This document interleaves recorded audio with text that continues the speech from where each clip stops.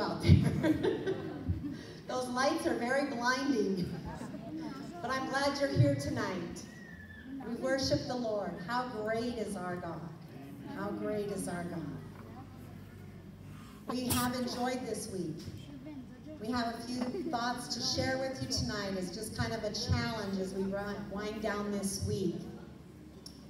And calling the crowd to him with his disciples, he said to them, If anyone would come after me, let him deny himself and take up his cross and follow me. So are we ready to follow the Lord anywhere?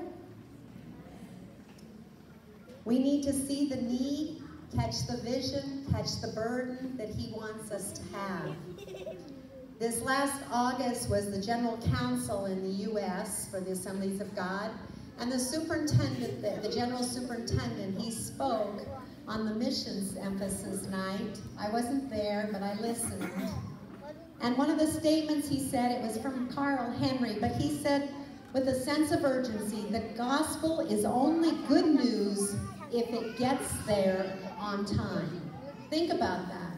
It's only good news if it gets there on time. People are dying.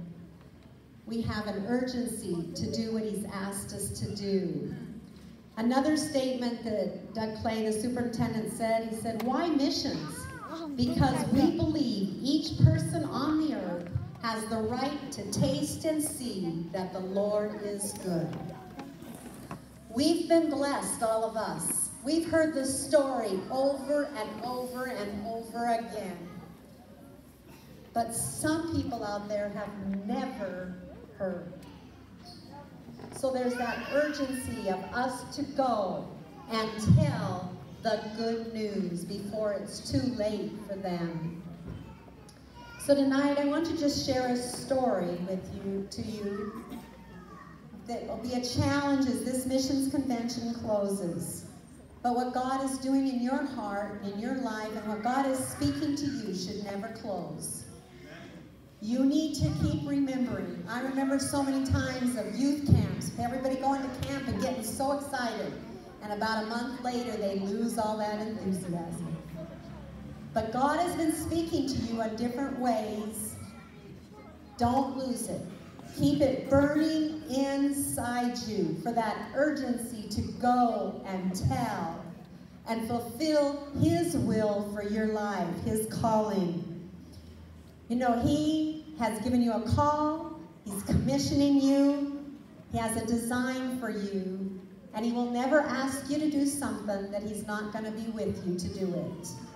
He will be there all the time. He has promised He will never leave you. So don't forget what God has spoke to you this week. Keep it burning in your life. As a young man named William Borden did. This story takes place back in the early 1900s. And he graduated at 16 from a, a high school in the U.S. And he was from a very rich family. And there was a, a big fortune that would come to him. And at graduation from high school, his parents gave him a gift of a trip around the world. Now, Borden had come to Christ early on, and earlier in his life, in uh, meetings with D.L. Moody, a famous evangelist. So while he was on this trip around the world that his parents had given him, he began to see things that he'd never dreamed of seeing. But it wasn't all the wonderful sights that you would think he was seeing, but God began to burden his heart. And as Borden traveled through Asia, the Middle East, and Europe, he had this growing burden to go and help hurting people. So when Borden went home, or before he went home, he wrote a letter to his parents and said, I'm going to be a missionary. Now that definitely wasn't the plan his parents had for him. And he said that would be the way the rest of his life would be, in service to God. Upon hearing that news, one of his friends said, he's just throwing his life away as a missionary. And that's what many people that knew the family began to think of him. But on his return, he went to Yale University, a very well-known, prestigious school. He graduated, then he went on to another prestigious school, Princeton Theological Seminary. But upon graduation from the seminary, he boarded a boat to go to China as a missionary. He headed out, and on his way, he stopped in Egypt because he had a burden for the religious groups that were in that area. And he began to learn Arabic as he was there. But he was only there a very short time before he contracted a bad disease called spinal meningitis. And within a month, William Borden had passed away. Wow, that news went out. Went out to America. Um, as soon as it reached America, almost because of the famous, because his family was famous and well known, rich, newspapers all across the United States posted the story of his death. And it was stated that a wave of sorrow went around the world. He not only gave up his fortune, but himself to be a missionary. He actually did give up himself. And that's what the scripture that we've been talking about, denying himself and taking up the cross and following Christ. He did that, and it did cost him his life. He walked away from a wealthy fortune to take the gospel of Jesus Christ to people around the world. What people regarded as a tragedy, God did work out for good. He took that tragedy and did something far greater than Borden probably ever would have done had he made it to China. Because when thousands of young men and women in America heard his story and the sacrifice he made, they began to follow Jesus and follow a call to be a missionary. So many, many went out as missionaries because of Borden's life and his testimony. Eventually, um, Borden's belongings got back to his parents, and they and his Bible was there, and they found the following things in his Bible. For once, he had renounced his fortune to follow in missions, and he had wrote the words in his Bible, "No reserve." No holding back. His father had told him that he would always have a job in the company if he came back. And later his father said, no, you can never come back because you are leaving and going and doing this. And then when he found that out, Borden wrote in his Bible, no retreat. No retreat. Then they discovered in his Bible that he had written something shortly before his death. And those words were, no regret. No regret. You remember the story I told that one night of that girl that had tried and tried and tried for the pageant. She said it is better to fail than have regrets. Borden could say, I have no regrets. I've given my life for Jesus. So we can all think about our own lives. Do we try to play it safe? Or are we willing to take risks for Jesus? When we look back over time, do we have regrets? Let's not live a life of regret. How will you live this week? How will you live this year? How will you live the rest of your life? Will you be able to say no reserve, not holding back anything, giving it all, giving it all to Jesus? Whatever it is, whatever you're facing, don't turn back. Don't hold back. Face it and go forward. Go forward. No retreat. Don't pick the easy path. Don't just choose an easy way to go. There are times when God's will, and many times, is not easy. And many of you already know that. But go forward in God, what God is leading you to do. Do not turn back. Do not give up. Go forward with God. And then no regret. If you have live a life of no reserve and no retreat, absolutely no way to go back, and no, then you will be able to live a life of no regret. When this week is over, when this year is over, when your time to go to Jesus comes, can you say you've lived a life of no regret? Live life to the fullest, choosing God's way. Our hearts cry as we talk to many of you and as we pray with you and others have prayed with you is that you will be able to live that kind of life. You will commit fully to following God, not giving up. We need pastors, church leaders, Bible school leaders, students who can say no reserve, no retreat, and no regret. Can we say, whatever the cost, I will go. I will fulfill God's will. I will fulfill God's call on my life. I hope every one of you can say that yearly, daily, that that's the way you are living your life. Wow, what a story. What a story. That simple story should really challenge our hearts to go forward in the will of God. And I want us to take those three words that Barb ended that story with. And I want them to penetrate deep into your heart, deep into your thinking, deep into your spiritual life. No matter if you go into the pastoral field or the evangelistic field or the missionary field, whatever that call is out there, make sure you go forward in that call and you give it all. Give yourself all to that call. Stand with me tonight, please.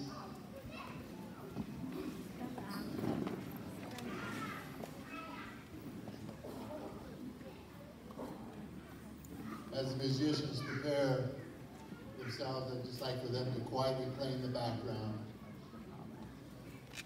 I want us to take just a few moments. I want us to make a commitment tonight. It would be terrible if we had gone through this whole week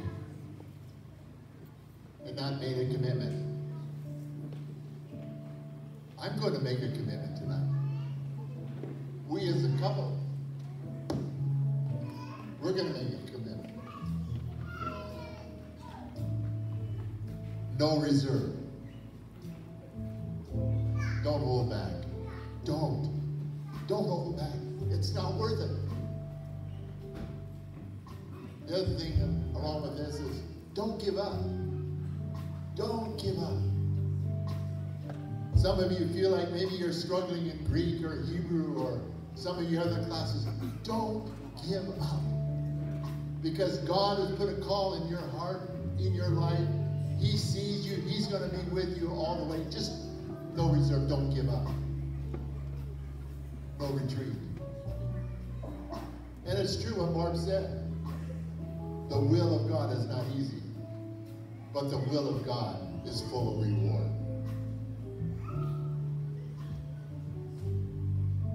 Take a hold of that will. Put it in your heart. Take hold of that will. Put it in your mind, your spirit. It's not easy, but it's worth it. No regret. No regret. I like this one. Don't live. Don't live. Can I say it one more time? Don't live cautiously. Don't live cautiously. Abandon yourself to the love of God. Abandon yourself to the strength of God. Abandon yourself to the, the, call, the, the, the call of God, the will of God. Abandon yourself. No reserve. No retreat. No regret. Would you just step out of your seat from your seat right now? come forward make a commitment to the Lord? Yes, Lord. No reserve. No retreat. No regret. Just step out right now. Just come forward. Don't be bashful. Let's make that commitment to the Lord. I'm going to make that commitment to the Lord. We are going to make that commitment to the Lord. Just come forward. We want to give ourselves to the Lord and to His kingdom. We want to see His kingdom grow. We want to see the lost come to the Lord Jesus Christ.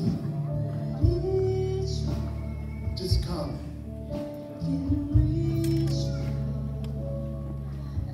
No reserve.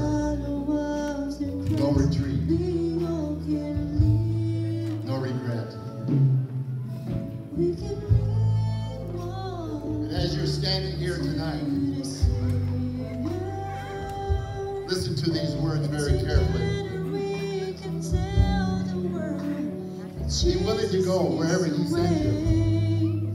Be willing to go to that hard place. Be willing to go to that place not going to be easy at all. Deny yourself. Take up that cross. Follow Him. Just follow Him wherever. And just tell the Lord, Lord, I'm here. I'm standing here. I'm going to commit myself to your will, to your way, to your purpose. I'm here to serve you. Just take a moment right now and just talk to Jesus. Just talk to the Lord.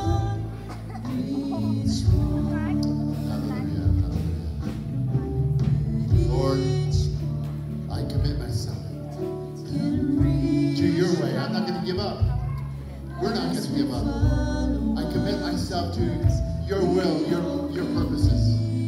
I commit myself to go to the lost, to those who have never heard the gospel of Jesus Christ.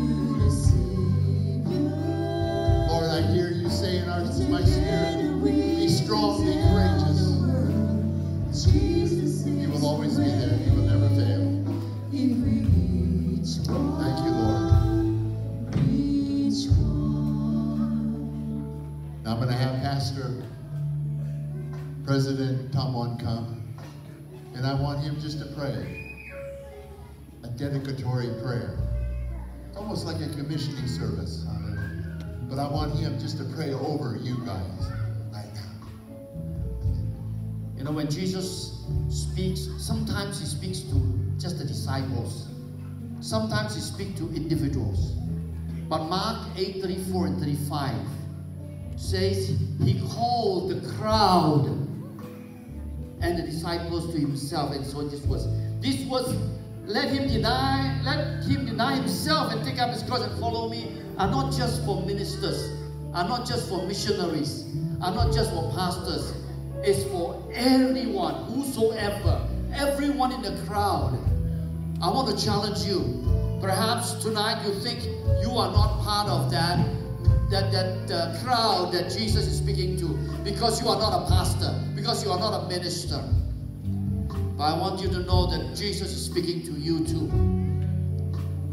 In fact, I want to talk to you who are younger. I became a Christian when I was 13 years old. I decided to serve Jesus full time when I was 17 years old. You are not too young to serve Jesus. Some of you may want to lead your children up to the altar. In fact, I want to pause a little while and speak to those from China. Children are particularly important to them because they've only one child in the family. Putting their, it's probably easier to put themselves on the altar than to put their child on the altar. 我要抓住这个机会，跟 中国来的弟兄姐妹讲几句话。在你们的家庭，也许孩子们很重要，有有时候太重要了，比上帝更加重要。很多时候摆把自己摆上那个祭坛上，比把孩子们摆他摆上了祭坛上更加容易。今天晚上，我要你，我要鼓励你，把你自己的孩子摆摆上祭坛上，代表你一切都奉献给主。如果你可以的，我要请你上前来，这个前面的地方，我们就称为我们的祭坛。来到前面，把你、把你孩子、把你家人奉献给主。哈利路亚！我们要为你们祷告，让上帝祝福你，让上帝的旨意一切都在你的生命上行出来。哈利路亚！Thank you, Jesus. Hallelujah. Hallelujah. If you are, if, if, if you've come just to celebrate, just for the food, you did not expect much, but the Holy Spirit is speaking to your hearts now. And perhaps somehow you sense the presence of God. God is calling you, God is urging you. Perhaps tonight is the time you can come out here and, and make it a night where the Holy Spirit can impact upon your life and mark it so that this day, this time, this moment is where you have given your all. No reserve, your all. You've come to the altar. You've placed everything. There'll be no, no turning back. No retreat. And I can I can tell you, after almost 40 years serving Jesus, you will one day look back and say, no regrets. Hallelujah. Hallelujah. Hallelujah. I can see some more Chinese families coming up. It's not easy for them to come up with their children. I like some of the missionaries. I know some of you are at the altar now. To just turn around, pray for some of them Chinese, Koreans, Filipinos, whatever they may be, whoever they may be, pray for them. Hallelujah. Let's ask the Lord's anointing upon them. Hallelujah. Some of you students, come. You have an opportunity now, opportunity now to bless somebody at the altar. Come to the front. Come pray for somebody. Perhaps the Lord has a prophetic word through you for the person you're praying for. To confirm, affirm the call upon that person's life. Come, come to the front. Find someone in front. Pray for that person. Hallelujah, hallelujah, hallelujah, hallelujah, hallelujah. Let's take these moments, very precious moments. Come and bless somebody. Hallelujah. Thank you, Jesus. Hallelujah. Oh,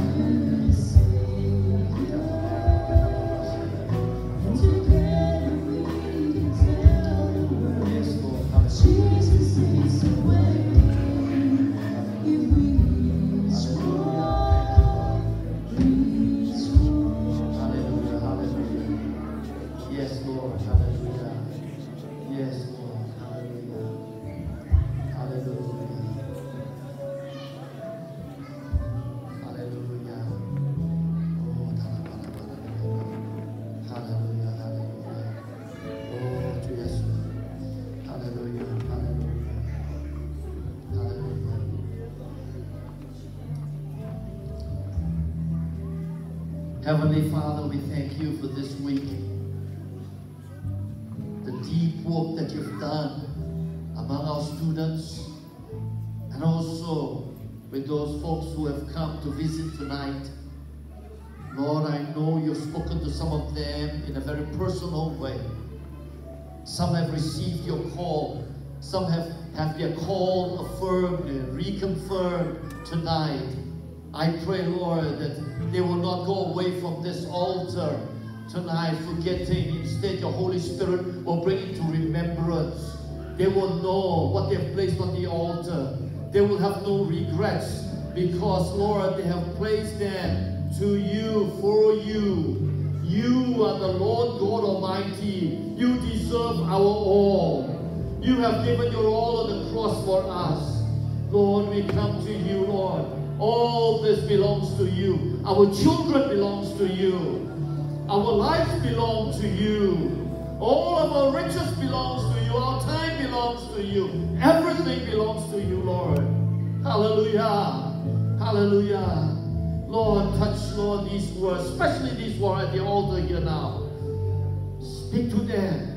Imprint upon them their hearts today. Let them never forget this day, this 11th of October 2019, when they came to the altar and gave their all to you.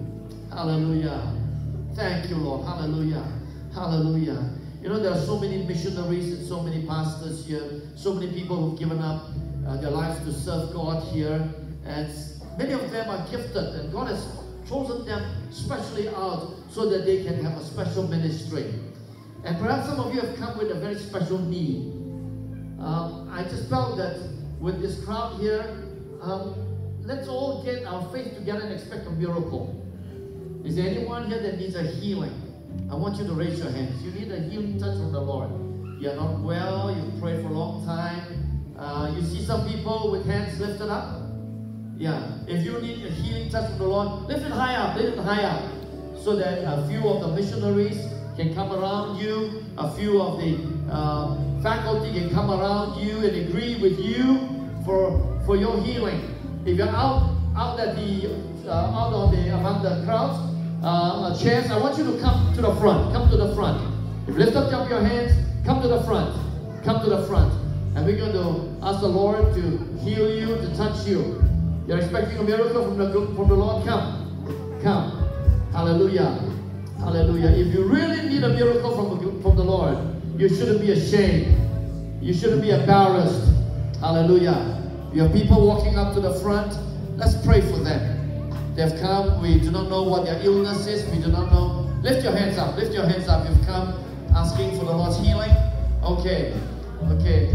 Um, can, can we have people move to that direction too? Those whose hands are lifted up, come.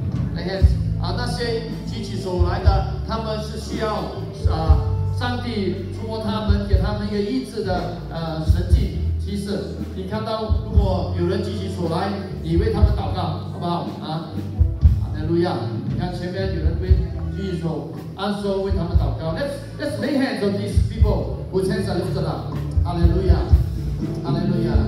Many times in Asia, lifting up our hands and just indicating that we have a need is not easy. You see these hands lifted up here, here in the middle. 在中间这里，好，为他们祷告。好，哈利路亚，哈利路亚。Let's make sure, make sure that everyone whose hands is lifted up has somebody praying for them. Hallelujah. Pray for them. Ask the Lord's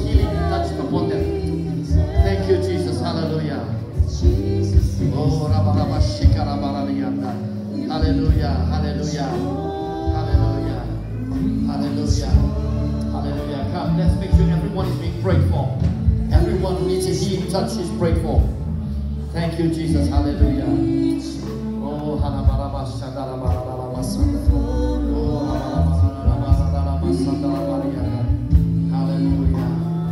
Hallelujah.